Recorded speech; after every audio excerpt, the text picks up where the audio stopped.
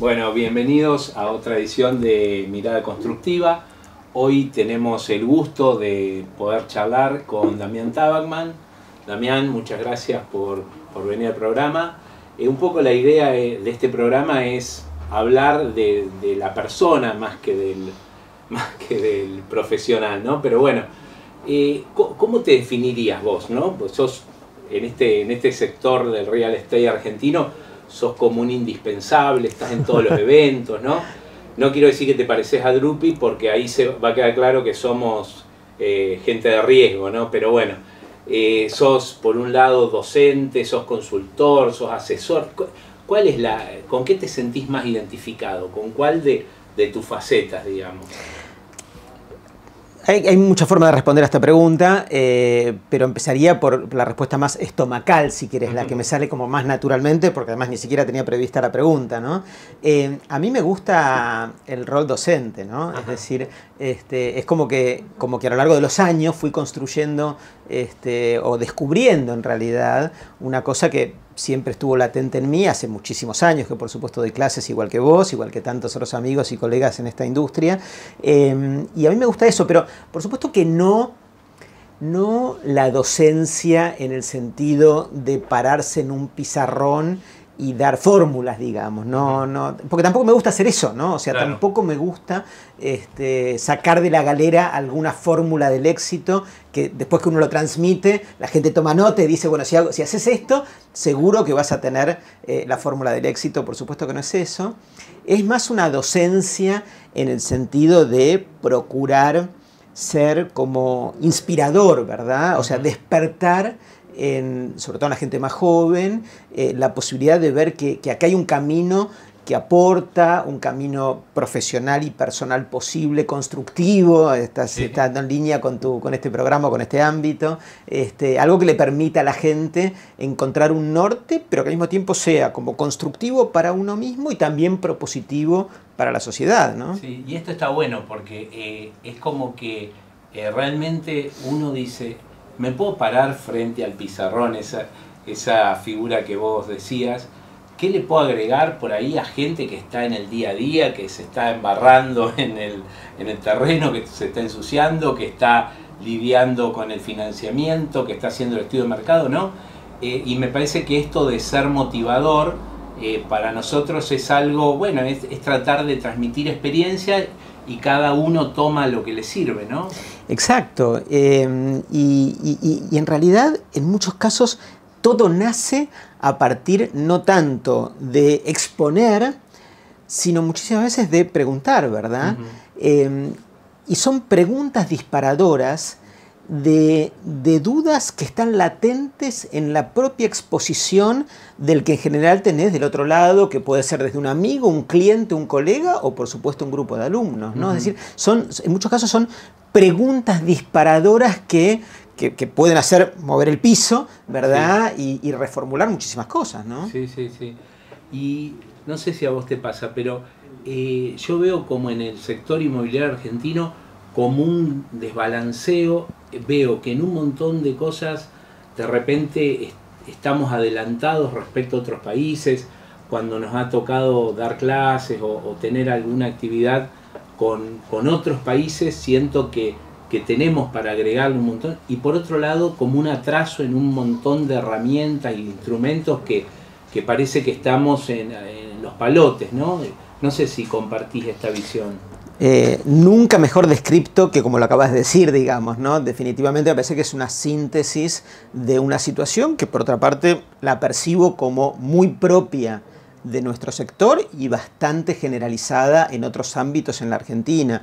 Efectivamente, eh, tenemos permanentemente la experiencia de dar clases, de contar cómo deberían hacerse las cosas, incluso hasta de mejores prácticas en tantos lugares de Latinoamérica, incluso hasta en Miami o en España, que nos ha tocado hacerlo, este, con, éxito a la hora de transmitirlo y a la hora de plantearlo, y al mismo tiempo, puertas adentro en la Argentina, sentir que estamos en la edad de piedra en tantos ámbitos, y lo estamos, pero también uno debe reconocer que nuestro propio trabajo de asumir este rol durante tantos años, bueno, creo que va agregando valor, es decir, eh, mucho peor sería seguramente si no hiciéramos lo que hacemos. ¿no? Eh, sí, sí, realmente.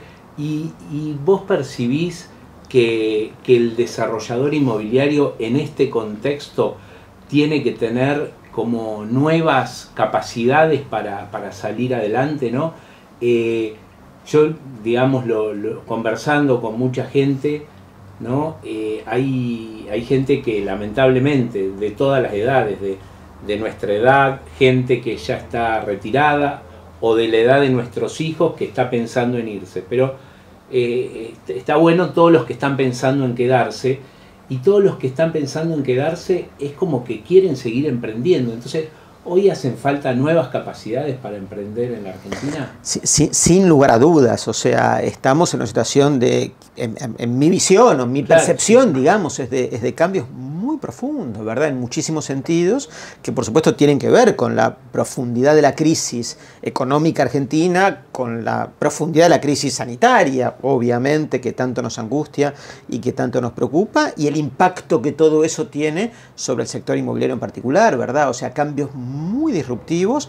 Algunos, algunas cosas seguramente, eh, eh, naturalmente volverán a encaminarse hacia cómo supieron ser, como si esto quizás nunca hubiera ocurrido, pero tantas otras que, van a traer cambios muy fuertes y que nos obligan, nos obligan eh, a repensar el modelo de negocios, a repensar la forma de concebir los productos, la forma de capitalizarlos y de conceptualizarlos. Me parece que hay que estar hoy muy abierto a, cambios eh, profundos realmente.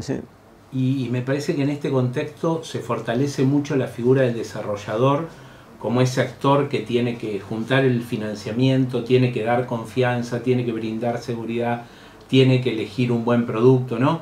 El desarrollador y, su equipo, obviamente, pero me parece que en, en todo este barajar y dar de nuevo, el desarrollador de alguna forma se ve favorecido, se ve fortalecido, ¿no? Se ve fortalecido y al mismo tiempo terminan cayendo arriba de sus propios hombros eh, las expectativas y sobre todo la responsabilidad de tomar decisiones sin tener muy claro en qué contexto lo hace, porque la verdad es que herramientas tradicionales que te permitían basarte en datos de mercado objetivos, en la experiencia previa, en oferta competitiva a la que le fue bien o a la que le fue mal, todo lo cual permitía hacerte como una composición de lugar para tomar decisiones a, a partir de datos, ¿verdad? En un entorno tan cambiante desde lo profundo como el que estamos atravesando en la actualidad, en todo sentido, me parece que eso eh, le genera o le asigna al desarrollador una responsabilidad eh, que no es tan fácil de asumir, ¿verdad? Eh, nos pasa todo el tiempo que hay, hay muchas dudas dando vueltas en el mercado y esas dudas en muchos casos terminan cayendo en escuchar la opinión de profesionales, consultores, gente que, que, es como periférica a la toma de decisiones centrales de un proyecto inmobiliario. Eh, y sin embargo, hay muchos que opinan, aún con, con datos lo, más fuertes que puedan tener o los mejores sustentos que puedan lograr. Pero finalmente el que toma la decisión de poner el pie en el acelerador o no es el desarrollador eh, y es una gigantesca responsabilidad, ¿verdad? Y además... Eh, sentir que le tenés que rendir cuentas a mucha gente, ¿no? Como que yo siento que a veces vos vas a, a un oficial de private banking y te, hace una evaluación de riesgo y te dice, bueno, ¿usted cuánto quiere perder? Y siento que en el mercado inmobiliario nadie quiere perder. A lo mejor estarían dispuestos a ganar un poco menos si, si la cosa se complica, pero eh, la exigencia que el inversor le, eh, pone sobre el desarrollador es muy fuerte, ¿no? Sí, lo, cual, lo cual es, eh, por supuesto, le imprime una cuota de dificultad mayor a la actividad y al mismo tiempo también le atrae, si querés, alguna buena noticia, ¿no? En el sentido que eh, los inversores o los compradores o todos los que ponen capital para que el proyecto, el que aporta un terreno, todos los que aportan capital para que, o algún activo para que el proyecto sea posible, lo hacen en la expectativa que están eh, invirtiendo en activos reales, en algo tangible y palpable, no es una acción, no es un bono, no es una compañía de internet que puede volar por los aires, no, son ladrillos, un terreno, una cosa que se puede, que ahí está, ¿verdad? Eh, y eso, eso por un lado, genera la sensación que es una inversión segura, y nosotros además tenemos que honrar ese concepto porque está muy bien que así sea y porque además es el ADN de nuestra actividad, sin desconocer que como cualquier negocio tiene su cuota de riesgo. Y esto es un negocio, con lo cual, y negocios sin riesgo no están inventados en planeta Tierra, ¿verdad? no existieron ni existirán. Entonces, este, es como ese, ese, delgado equilibrio entre, entre el transmitir de verdad la sensación que, que, en serio los activos reales están ahí, y están ahí sin lugar a dudas, pero que simultáneamente, bueno, tiene su cuota de riesgo, por supuesto. Sí, totalmente. Y un tema que me pareció interesante, en los últimos años incursionaste en la gremial empresaria, digamos, ¿no? como presidente de la CEDU. Eh, ¿cuál, es tu experiencia? Y también una cosa positiva que veo desde afuera es que, que hay una nueva generación de, de profesionales y de empresarios que se están sumando a estas instituciones y me parece que eso es muy sano, ¿no? ¿Cuál es tu experiencia? Mirá, estoy fascinado con la experiencia y con la actividad. Empecé hace un año y pico, ahora acabo de ser reelegido por un par de años más. Por supuesto que soy un completo autodidacta en este mundo, ¿verdad? O sea, no tenía cero experiencia en esta cuestión. Eh, todo surgió porque en algún momento el presidente anterior que me precedía, este, por alguna razón propia de su, de su trabajo, este, tuvo que retirarse o se corrió. Así que un día recibí un llamadito telefónico de alguien, che, ¿estás para ocuparte de esto? Eh, y por supuesto que no me voy a olvidar más de ese momento, porque de alguna forma también marcó mi propia experiencia y, carrera profesional al día de hoy, tengo que reconocerlo, ¿verdad? Bueno, le dije que sí, sin estar del todo seguro si tenía sentido o no, si, si aportaba algún valor para mí y para los que me, iban a acompañar en esa primera etapa y si iba a saber hacerlo. Nada de todo eso, ¿verdad? Este, y ha resultado una cosa, digamos, de, la que estoy muy orgulloso, eh, porque por un lado el sector se va institucionalizando, lo cual me parece que es súper claro, importante. Vos fíjate, para ir a ver a una autoridad pública, un político, digamos, gubernamental o lo que sea. Una cosa es que vaya em, alguien de una empresa a reclamar porque los planos no salen o, se demoran, cosa que siempre pasa, por supuesto. Y otra cosa muy distinta es que vaya una institución, ¿verdad? Que tiene como otro peso, otra representatividad, otro vínculo, es recibido también de otra manera.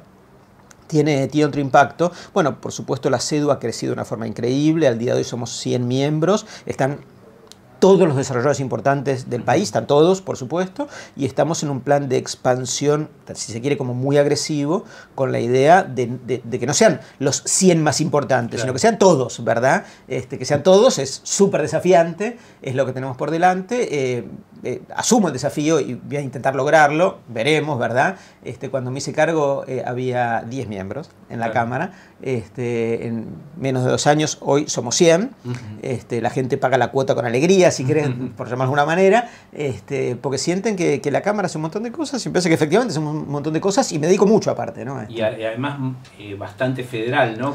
También esto, algo que el, coronavirus trajo, que la comunicación por Zoom puede participar gente de todo el país de la misma reunión, ¿no? Y participan, cosa que en otro momento era imposible. De, hecho, cuando empezamos con esto, yo quería hacerlo federal, pero la verdad que había que estar viajando todo el tiempo porque era lo esperable. Vos que, nada, querés una reunión con desarrolladores de Neuquén, bueno, anda a Neuquén. Y tampoco uno puede viajar todo el día de la vida, digamos, ¿no? En cambio, de esta forma, este, con todo lo malo del coronavirus, lo horrible del coronavirus, al menos en ese aspecto, este, funciona, sí. Bueno, y eh, el, nombre de este programa es Mirada Constructiva y queremos conocer tu mirada acerca del real estate que viene, ¿no? ¿Cómo ves vos el futuro inmediato a, mediano y largo plazo? ¿Cómo ves el, eh, nuestro sector en la Argentina concretamente? Y bueno, eh, siempre tu, visión es útil para, para motivar, para tomar decisiones, para, para pensar, para reflexionar. Mira, para el mediano y largo plazo no tengo la menor idea, obviamente, ni yo ni nadie, ¿verdad? Esto es obvio. Este... Lo bueno es que no te van a encontrar en el mediano y largo plazo, así que el poder Exacto. En el corto plazo, eh, yo soy prudentemente optimista, ¿no? O sea, me parece que están dadas algunas condiciones como para que, digamos, el 2021 sea un buen año para nuestro sector. Eh, el fuertísimo abaratamiento del costo de construcción es definitivamente un incentivo a que la gente, aún tomando el riesgo que implica invertir en Argentina, se decida hacerlo, ¿verdad? O sea, hay algún costo del fabricar metros cuadrados que termina tentando, ¿verdad? Y me parece que estamos en ese entorno en la actualidad, así que en ese sentido me parece que vale la pena eh, mandar esta señal, digamos, al público, en la cual estoy convencido que, hay una cuota importante de verdad que tiene que ver con eso. Por otra parte, respecto del gobierno, eh, eh, hay, también hay que reconocer que son muy insistentes con encontrar en la construcción privada la expectativa del motor de la reactivación económica. y, están con este tema en la agenda e incluso están con anuncios en esta materia, ¿verdad? después el tiempo dirá si la conjugación de ambas cosas, que barato. Este, que es barato el hacer metros cuadrados, siendo que no es barato comprar hecho, lo cual es una mala noticia para comprar hecho, pero respecto de la oportunidad del hacer para después vender a un precio que ha resistido a la baja, aún a pesar de la crisis, me parece que, que para el desarrollador es como, es como un incentivo y simultáneamente apalancado este, o incluso impulsado con decisiones gubernamentales que van en ese sentido. Después también no podemos dejar de decir que eh, en general la gente se lanza masivamente a invertir.